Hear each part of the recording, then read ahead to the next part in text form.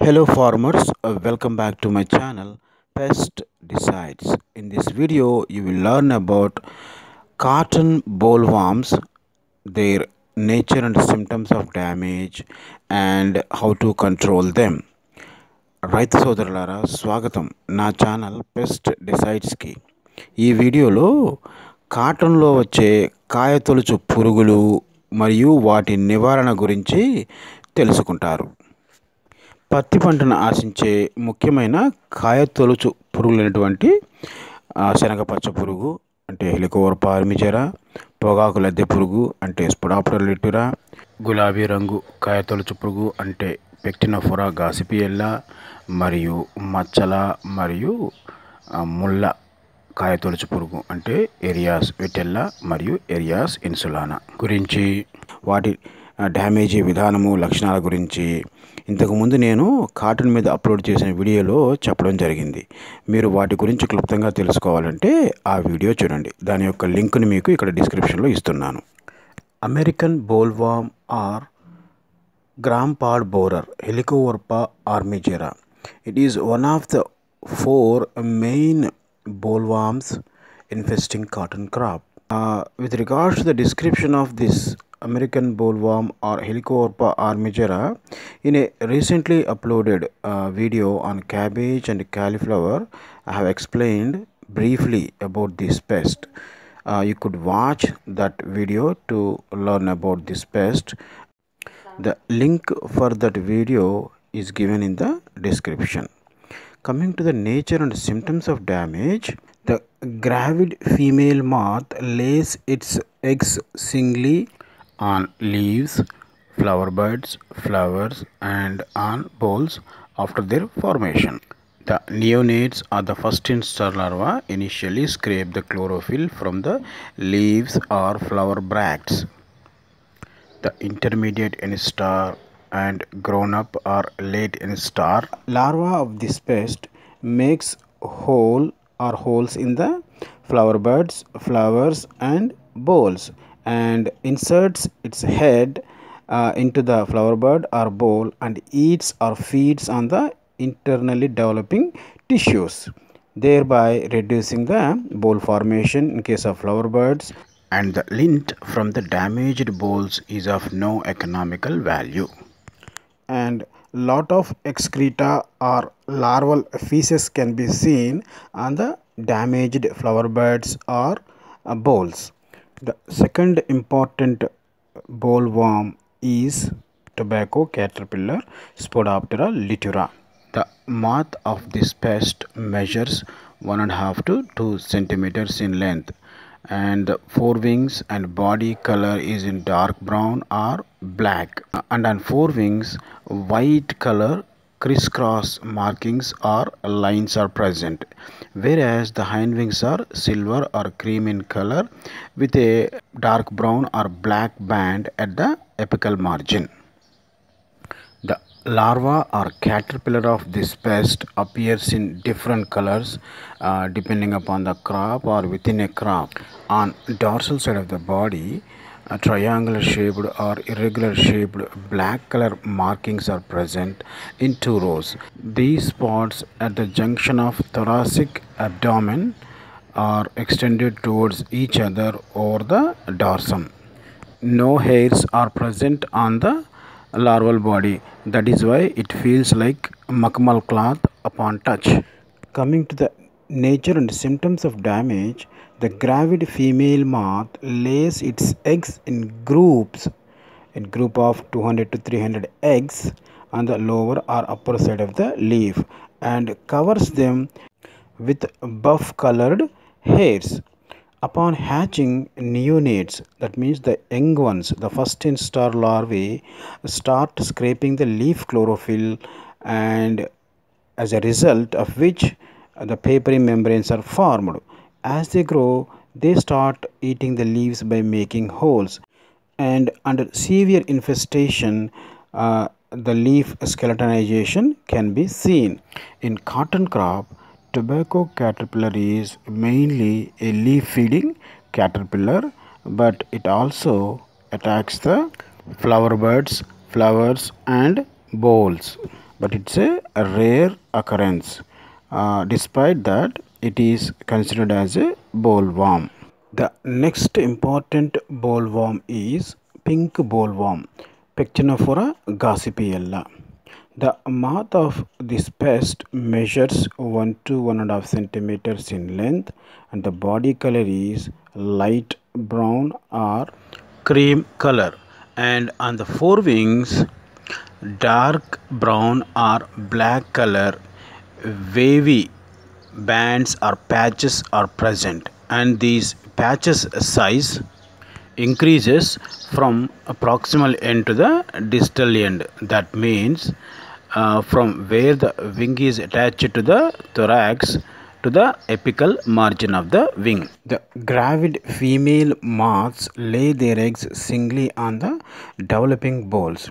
Upon hatching, the neonates enter the boll making a small hole which eventually uh, closes up and disappears. And this larva develops inside feeding on the internal tissues such as lint. And these larvae initially white or uh, cream in color and translucent. Later they turn to pink color. That's why it's called pink boll worm. Usually one boll is infested by one larva. And rarely two or more larvae can be seen developing inside a boll and from the outside one cannot make out the infestation of the boll until and unless the boll is manually opened up and observed the larva and larval damage. Some larvae undergo diapause within the boll itself in pupal stage and serve as carryover pest load for the next cropping season. The lint present in the damaged or infested boll is of no economical value as it is contaminated with excreta or feces and discolored. The next cotton bollworm genus has two species. One is spotted bollworm uh, Earias vitella and the second one is spiny bollworm Earias insulana. Coming to the brief description of these insect pests, the moths of these bollworms, spotted and spiny, measure 1 to 1.5 centimeters in length. In case of spotted bollworm, the body color is white and there is a green band in the middle of the forewing along the wing and there are two bands or patches of green color on dorsal side of the thorax and in case of spiny bollworm the body color is green and forewings are uniformly green in color whereas hind wings are white in color these moths lay their eggs either singly or in groups of 5 to 10 on flower buds, flowers and developing bolls. Upon hatching, the neonate larvae initially scrape the chlorophyll and subsequent uh, instar larvae of the pest um, make the holes in flower buds and bolls and insert their body either half or full and feed on the internally developing tissues in case of flower buds and lint in case of bolls and contaminate the bolls inside and outside with their excreta or feces. The larva of spotted bollworm is in uh, light brown or dark brown in color with white or cream and orange color spots on the dorsum. Whereas the larva of the spiny bollworm also is in light brown or dark brown in color but white or cream and orange patches are present on dorsum and stiff hairs which are like spine-like structures are present on, the, the dorsolateral side of the body. The lint present in the bolls damaged by these spotted and spiny boll worms is of no economical value as it is discolored. పత్తి పంటను ఆశించి పత్తి దిగుబడి బాగా తగ్గిపోయేలా చేసే ఈ బోల్వామ్స్ నివారణ కోసం మన దేశంలో రిజిస్టర్ కాబడిన అనేక పురుగు నివారణ మందులలో ఒకటి ఆల్ఫా సైపర్మెథ్రిన్ పది శాతం మందుతో ఎస్సీ ఫార్ములేషన్లో దొరుకుతుంది. ఎస్సీ అంటే సస్పెన్షన్ కాన్సన్ట్రేట్.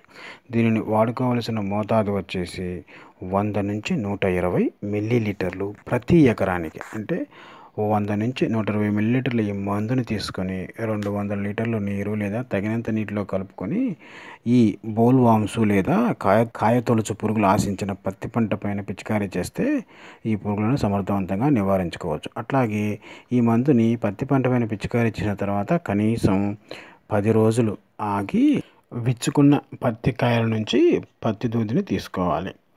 మార్కెట్లో ఈ ఆల్ఫా సైపర్మెథ్రిన్ పది శాతం ఎస్సీ ఫార్ములేషన్ ఏ ఏ పేర్లతో లభిస్తుందో ఈ వీడియో చివరిలో చూద్దాం. In order to control these bollworms in cotton there are several insecticides registered in India by several insecticide companies Uh, one among them is alpha cypermethrin 10% SC. SC means suspension concentrate. The dosage for these pests in cotton is 100 to 120 milliliters per acre. So mix this 100 to 120 ml uh, insecticide in 200 liters of water or as may be required and prepare the spray solution and spray it on the any or all of the bollworms infested cotton crop? And after spraying this insecticide on cotton crop at least 10 days uh, have to be waited before the cotton from the flared up bolls can be picked up. The different trade names or brand names with which this alpha cypermethrin 10% SC formulation is available in the market are A one S C L S वारी agri alpha G S P worry agri alpha अलफाइन Alexa अलफ्रिन alpha पदी alpha super ester Badshah S C Bhima super दूफान fang full stop super हार्डर housecare क्रिया alpha लहर Essex एंटिक्विटो Paras guard pendulum remover రోచ్నిల్ Robin Sahib fighter San alpha plus spectra hyper plus wings మరియు జాయో రైతులు మార్కెట్లో పురుగు నివారణ మందులు కొనేటప్పుడు ప్రతి పురుగు నివారణ మందుతో పాటు ఒక పేపర్ కూడా వస్తుంది. ఆ పేపర్ని లీఫ్లెట్ అంటారు. ఆ లే ఆ లీఫ్లెట్లో ఆ మందుకు సంబంధించిన లేబుల్ సమాచారం అనేది ముద్రించబడి ఉంటుంది. ఈ లేబుల్ సమాచారం ఏంటంటే ఈ పురుగు నివారణ మందుని ఏ ఏ పంటలపైన ఏ ఏ పురుగుల కోసం ఏ ఏ మోతాదుల్లో వాడుకోవాలి అట్లాగే ఈ మందుని పంటపైన పిచికారీ చేసిన తర్వాత ఎన్ని రోజులకు మళ్ళీ పంటలోకి వెళ్ళాలి లేదా పంటను హార్వెస్ట్ లేదా కోసుకోవాలి అనే సమాచారము మరియు ఇతర అనేకమైన సమాచారం ముద్రించబడి ఉంటుంది. కనుక ప్రతి రైతు కూడా దీనిని చదువుకొని దాని ప్రకారం ఆ మందుని వాడుకుంటే సత్ఫలితాలు వస్తాయి. ఇదే కరెక్ట్ పద్ధతి. సో ప్రతి రైతు కూడా దీన్ని తప్పక పాటించవలను. When a farmer purchases an insecticide in the market he will get a, a paper along with it. That paper is called leaflet. On this leaflet the label information for that particular insecticide is being printed. So what is that label information? This insecticide has to be sprayed on which crops for which pests at which dosages. As well as uh, after spraying how many days after the spray the farmer has to enter the field and how many days after spray the crop produce uh, has to be harvested all that information and additional information is also being printed on this leaflet. So every farmer has to read this information and follow the instructions printed on that leaflet while using the uh, that particular insecticide